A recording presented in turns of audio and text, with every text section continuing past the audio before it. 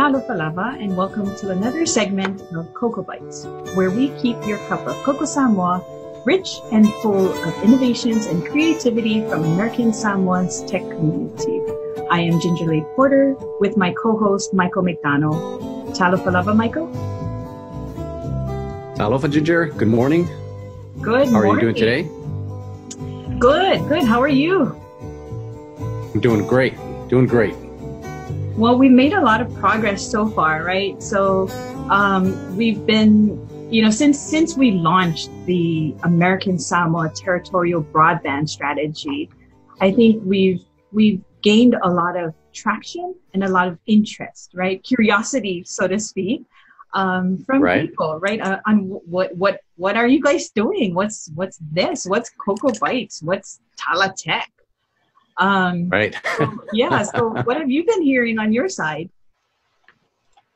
yeah, no, very much the same thing. You know, I, I was surprised, uh, you know, at the uh, uh, response really uh, after the first show. People were stopping me, you know, hey, you know, I saw your Coco show, you know, and uh, uh, but it has generally been pretty positive. I, I think uh, uh, people are, are curious about uh, the same things that we're curious about. What, what do we do now with um, with a broadband now that we have it? You know, again, aside from the obvious stuff, how do we really uh, um, you know generate some uh, creativity and some innovation uh, so that we can you know do a lot more? Uh, so so the, the feedback has been uh, pretty positive so far. So. Um, I think we should keep going a little bit longer, right? oh yeah, absolutely. Consistency, you know, that presence and visibility, right? And Right. so, you know, you know, there's a, a whole big a market or or a, a group, right, that that we want to capture as part of this, and that's young people, right? And we're excited to see where young people can take this technology and this resource. Um, and so today's guest, you know, is a young person who's who's making a difference out there. You know, a bright, a Samoan, and then you know, it's it's really it's really nice to hear these stories about young people taking advantage of the resources and opportunities that are there. So I'm excited to bring on our guests. I'm excited too. All right. So let me just bring, bring them him in, in. and then we can let, I, I'm just going to bring them right in. And then we can continue to have this conversation about young people and the use of technology, right? So, oh, there he goes. Hi, Right. Sonny. Hey, Talofa. Hey, guys. Aloha. Well, welcome. Welcome to, to KokoBytes. Awesome. It's a pleasure to be on your guys' show. Yeah, so, so Michael and I are, are just um, starting to talk about um, this energy that young people bring, right, to the use of technology and to the use of uh, Hawaiki and just knowing what's out there. So, um, you know, I think you have a, a really great story to share. So I'm just going to go right ahead and ask you off the top right now uh, to tell us a little bit about yourself, right? So tell us your story as a young person who's out here um, and doing what you're doing. So share, tell Yeah. Should I start with just what I'm doing currently or go back to the. Actually, I think I want to go back. I want to go back to you know not not the far past, but you know just wh- wh- where where did you go to school? What high school? And tell us tell us about yourself.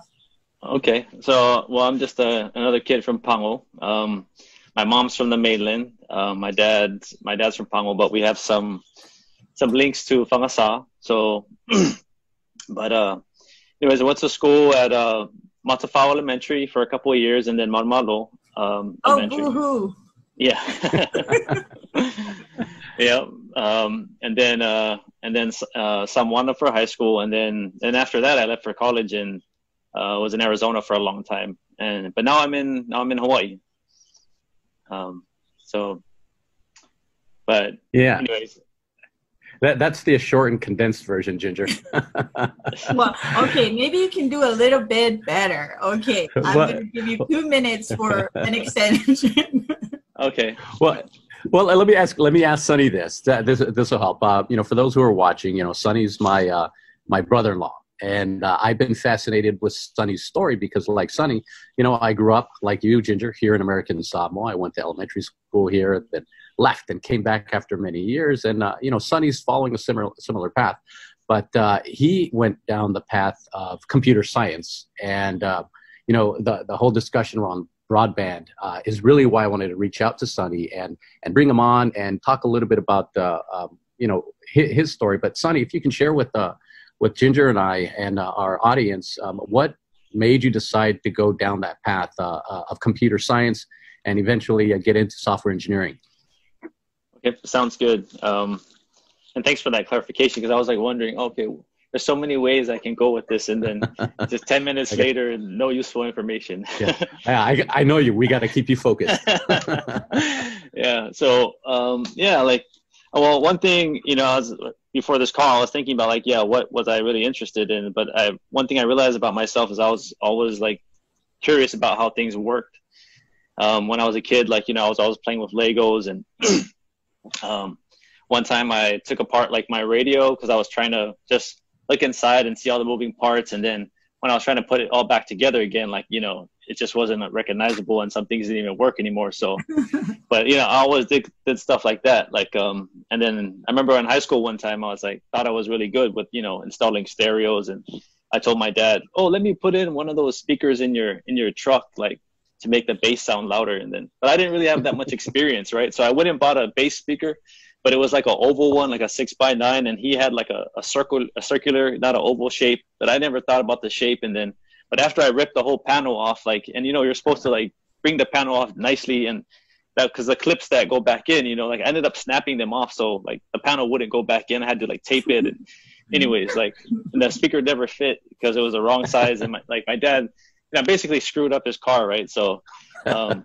but doing things like that. and I was almost curious. But the computer, you know, like um, like right around the time I was at like a freshman in high school, I think the internet was just reaching Samoa, and and you know just using the internet and using the computer, like it was something that like you couldn't just look at and see how it worked.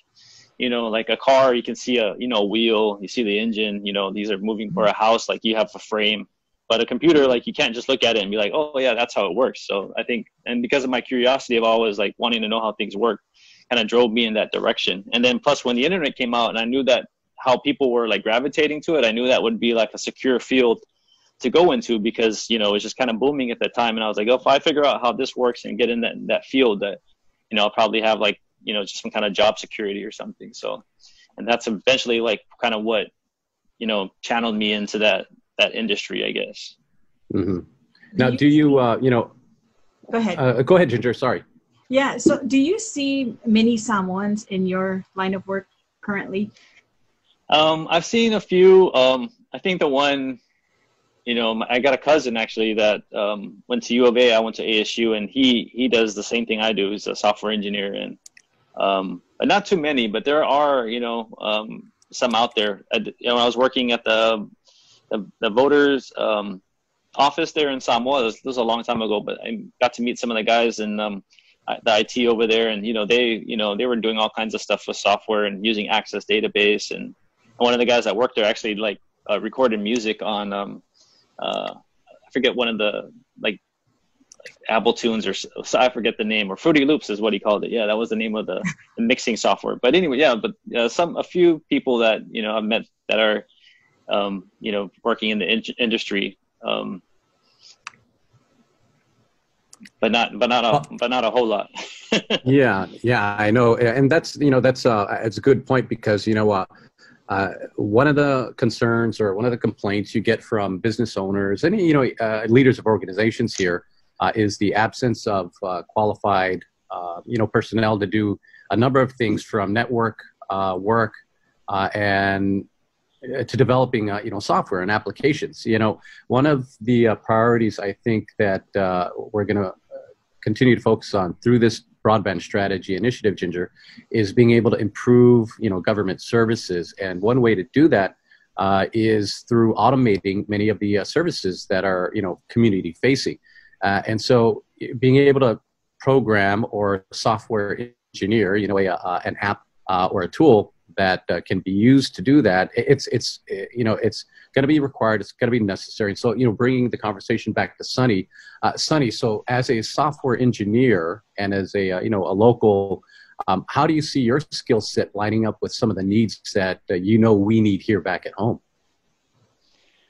Um, well, if anything, I could like help mentor um, products that uh, you know, or build software that I have experience building, or like similar types of platforms and stuff. But um, yeah, but you know, I mean, that's yeah, pretty much a mentor, mentor in a mentoring or a consulting type of role. But you know, with the the new cable and stuff, I can see, like you're saying, there's going to be a lot of needs, and I think it opens up, yeah, that opportunity for a lot of people to, especially, I mean, this is kind of off topic, but like you know, other uh, work in the mainland as well, right? So, um, to bring, you know, um, just that work back home with the with the speed that you guys have through that cable. So. Um, yeah, right, so, right. so, and um, Ginger, this is uh, you know, if I may, this this is a conversation that Sonny and I have had. You know, uh, you know, Sonny's a, a young dad. He's got a family there, two beautiful nieces, uh, nieces of mine, daughters of his, and uh, one son. So they have a, a family, and so he's kind of stuck there in Hawaii for a little while.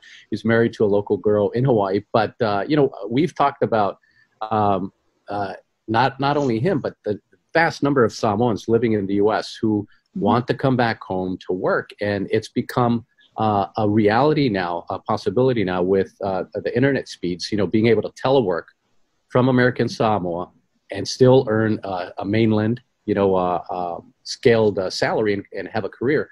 as Sonny, in, in your industry, are you seeing telework and remote remote work, you know, changing, especially since COVID nineteen? And what are your thoughts about you know this being one of the a conduit to bring some of our people back home. Yeah uh, well uh, right now the company that i work for and it all just depends on the company culture. Like some companies their culture is they like the in-person you know people to be there at the office and then other companies they have like a more mature uh, remote culture. So um, just so happens that where i work um, like uh, the director is like pro remote work. So um, a lot of the guys that get hired on they don't even they, they never meet in person. Like the entire interview process is done, you know, like this over the internet, and then, um, you know, and then you just start working over, um, you know, using your cable connection or your internet connection, and you know, because all the work when you're when you get into building software, like it resides somewhere else, like the code, the server, it all resides in some other physical location, and not necessarily where you work at either, right? So it's all in the cloud, and and so basically, when you're working, like you know, you're checking in code or pushing stuff in. It's all done on remote machines, and as long as you have an internet connection, um, you can do that stuff. But the fast connection really helps when you have like a lot of them require meetings, right? So mm-hmm. usually have several meetings during the day, just like this, and and that's like I think where the qual, you know, the fast connection really allows you to be a part of those you know meetings, and it's not like oh this guy you know has a bad connection, how is he getting his work done, or you know things like that. But yeah, and it just kind of brings everybody it's fair game now for to me like to be in American Samoa and have any of these jobs where working remotely. And so like we have a company I work for has a, a mature remote culture, but there's a lot of companies. I have friends that work for companies that they're they were like a you know you had to show there physically be there, um, show up physically be at the office, and um, because of the co- because of COVID now a lot of them are you know like one friend of mine, my close friend. Um, his company, Choice Hotels, like they decide their entire IT staff, um, they had them. They're not supposed to return to work until January of like next year. So, like hmm. everybody's remote. So, and then right. you know, just talking amongst friends or whatever, like it's like okay, if you have this company, you know, if it's you know if they have a thousand employees, they're probably paying a lot of money for rents, like real estate and stuff. So, right. I can just imagine now that people are seeing, well, everybody's remote, but we're still, you know, the company is still operating but now we you know we don't really need to pay for this rental bill or whatever you know mm-hmm. for this space that we can operate without people being in this space you know i can I, I can imagine more companies kind of leaning towards just you know the remote um you know um, just the aspect of you know yeah, making that work their, culture exactly yeah, I know. Uh, yesterday uh, or a couple of days ago, Google had made the announcement that uh, their entire staff will continue to work remote until uh, I think it was July of next year, if I remember correctly. Wow. And so, you know, you certainly expect a company like Google, a tech company, to uh, to be at the forefront of you know that sort of cultural uh, shift at the workplace. But I, I, would imagine that many more companies are now realizing that uh, there there's a potential. Uh, um, uh, business uh, motive for yeah. you know. Uh, I think most people kind of recognized it, but yeah, this this uh, uh, COVID nineteen um, pandemic has certainly opened a lot of eyes uh, for business owners and for you know organizations in general as to how you can be more efficient, more profitable of an organization, and you know continue to create value for your stakeholders um, by utilizing you know technology like uh, like what we're using today. Yeah. yeah. Exactly. Um, so I, I'll just follow up with a question um, with that. So, do you think that there are business opportunities in this field for entrepreneurs who live in American Samoa?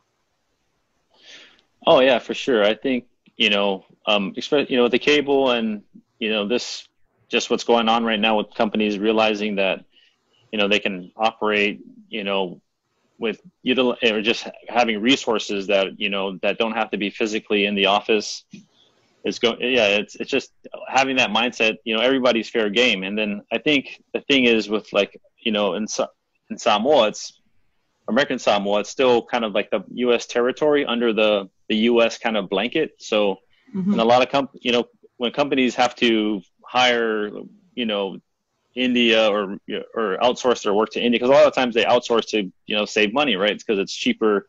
Cost of labor is cheaper in India, and then the cost of labor is cheaper in just other countries. But I think, you know, they're also 12 hours, I think, ahead or behind. Like so, mm-hmm. in order to communicate with them, like you have to be up at night, right? But American Samoa is is just like you know it's what an hour away from Hawaii time, Hawaii Standard Time, and then it's what like a, an hour or two or Pacific, right? Depending on the daylight savings. So it's like the time zone's a lot better, and then everybody, you know, mm-hmm. the I would imagine just speaks, you know, better English than somebody from India, you know, right. like, and I think it just it makes it a lot easier, I think, to get into that industry. Like, and if I think if people were trying to get into that industry of like, you know, remote services, like, I don't know, software, people were trained up, or like if they had resources that moved home to, you know, do software development or some type of IT work or, you know, I mean, I think the mm-hmm. cable totally opens that door up for, you know, people that want to move home and then people that are home that want to just build their skills locally because you don't need to actually go. There's a lot of online colleges and, and all the information's online. So, you don't really need to actually go anywhere to, to learn how to do this stuff, you know? Right. It's uh, become a, uh, well, we have been a global community for some while, but man, uh, you know, things, uh, our perspectives have really changed since, uh, since the, uh, the pandemic, you know, broke out earlier this year. I, I do like your comment about, you know, with Hawaiki and with this broadband burst, um, American Samoa is now fair game, right? That we can bring things to American Samoa and we can broadcast things. So that's now a two-way uh, avenue for us. Um, yep. Yeah, so I, I really, really like that. So I, um, what what message do you have for young people in American Samoa? You know about pursuing a career in computer science and or software engineering and and where where can they take that where can they take their skills right so now that american samoa is a two-way street we're, we're in the fast highway now right right yeah super highway super exactly. right. Yeah i mean eh, i mean it, it, that's the i mean it really there's no excuse you know now to not be able to to do what i mean whatever you want. Like you know like the it's you're limited to yourself and your own creativity like how far you want to push yourself. Because you know like if you want to pursue computer science you know and that's just like learning how to write code to build software applications like it could just be like a website or it could be you know like the zoom app that we're using or it could be like on your mobile phone like any one of those apps. Um, and that's what i do. I, I mean i currently i've kind of been through the gamut a little bit but now i'm like just doing mobile applications so on your iphone or your or on your android device. So but yeah i mean to learn how to do that stuff, you, it's the information's like I said, it's like it's all online, you know, and you, you can just Google like, oh, you know, how do um, how do I build an iPhone app, you know, and then you'll probably see like ten tutorials show up, you know, and and that's what I actually did to like learn how to build a mobile app. Was like I was building like stuff for websites, and then I was like, well, I went and just found a tutorial, and then I told myself, you know, I'm just gonna build an app and then get it on the App Store and then build an Android app and put it on Google Play. So, and I was just forcing myself to like learn how to do that. I was already done with school and doing something else, but I had learned this stuff on the side, you know, like just Googling and just like anybody can do at home. And, um, and once they figure out how to do it, then you, you know, and, and then you got an app on the store, then you can just go to a company and be like, oh, you guys need a mobile developer? Like I have two apps on the store. And then you, you just find the right fit until like you get your first, you know, your first actual job doing that, you know, and kind of like slowly build up your skill set. And then next thing you know, after five years, you know, you, you probably can get more pay. You can, you know, you can go from working at like, you know, Uncle Joe's to like working at Google or something like that, you know, being one of their mobile devs. And those guys, they probably make a pretty good salary, you know. yeah, you would, uh, you know, living here on the island and making a salary, uh, you know, a Google scaled salary would, uh, man, you'd be living in paradise. You'd be living the big life. Yeah, you'd, yeah. Be, looking, you'd be living in one of those uh, fales like the one behind you. oh, yeah. Yeah, with an absolutely. antenna on the top now. Oh, with that, with the, straight to the satellite. Yes, you have your yeah. own dish on top it, of that. yeah, that'll probably be one. You know, I, many, uh... hey, Ginger, I just wanted to comment. I, I think uh, Sonny's message is, is great, especially for the uh, uh, not only parents, you know, the parents are listening to hopefully, uh, but for the young kids out there uh, or young folks, you know, there there really is no uh, limitation now to uh, going after, uh, you know, um, whatever it is that you're you're you're planning or dreaming of of doing. You know, it's it's attainable. Um, obviously, there are going to be challenges along the way, but you know, we're we're experiencing an entirely new uh, landscape here in American Samoa because of Hawaiki and the broadband, uh, significantly improved broadband access we have. And so, uh, you know, thanks, Sonny, for uh, for sharing that story. I think uh, I hope it. Well, I know it'll resonate with uh, with a lot of people. Um, and again, we're just breaching the tip of the iceberg with this discussion, Ginger, about you know what can be done, right? Mm-hmm. So, thanks again for sharing that, Sonny. No, no problem. You're welcome. yeah. So I, I, took away a lot too from this conversation, right? So just what resonates with young people. No, no more excuses, right? So no excuses, and that curiosity to keep the curiosity going. And I like your story, your story, story earlier on about trial and error, right? So keep doing that. It's okay. It's okay to fail. Just right. try something else. So trial and error. Try trial and error and then the last thing is to stay motivated right that was like some of the the, the key things that pushed you um, from your education and then all the way through to career and to what you're doing now it's self motivation right so you got to stay the course and then keep motivating yourself taking initiative to do other things like creating an app as a side thing that you're doing. It wasn't even your primary focus at the time. So I think these are really great examples uh, for our young people and our audience uh, to just keep going, right? Now that you have this resource, this Hawaiki Cable, uh, there's so many things we can do. Um, so I think that's a, um, I wanted to give it to Sonny one last time for any final thoughts and a, a message of encouragement for our audience. Yeah. Well, yeah, I just think that um, you know this cable and having this the speed, it, it really is um, it opens up doors. You know, so um, it's if you have any interest or in the line of IT or even making videos or you know where this could be um, like a doorway that helps you get somewhere, then definitely you know take advantage of it and you know like trial and error, right? Don't be afraid to fail because you're just going to keep on learning from your mistakes and, you know, you just uh, evolve and become better at what you do. And yeah, so yeah, don't, don't be afraid and, uh, and, you know, take advantage of it. So it's a, it's a wonderful resource, you know? Yes, right. I agree. So with that, thank you so much, Sonny. I mean, Michael and I, this is also trial and error for us. The KokoBytes, right? you know, show number what? Yeah, three or four. yeah, number four. We're you know just we said just you know just swim, gonna do it. Sink, sink or swim, sink or swim. Right. That's what it is. So, but we're we're doing it. So with that, thank you so much for joining us today. Um, we hope to get you on again next time, and then we hope to see you and family in American Samoa. Yeah. Awesome. Yeah, I'd love to. And thank you guys again for the opportunity to be on your show. And I really enjoyed watching them, and I look forward to to more. I thought that was a great conversation with Sonny and where his story came from as from Matafao, boohoo, you know, because I'm from. Hey, I went to Matafao too. I went to Alofau Elementary. oh. um, yeah, but just you know, homegrown products, right? So all of us, all yeah. of you, yeah. me, Sonny, homegrown products is you know what I, I'm kind of proud of where we are, and just that conversation we just had. Uh, it's motivating. Yeah. It's it's it's young people talking and and finding solutions. So I mm-hmm. thought that was great.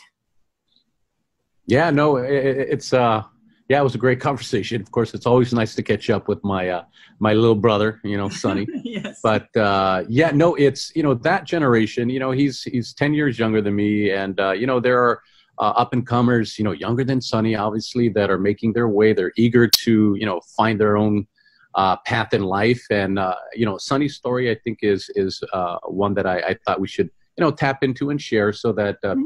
You know our young people can realize that you know they can go to Pango Elementary, they can go to Matafao, they can go to mm-hmm. Samoana and graduate.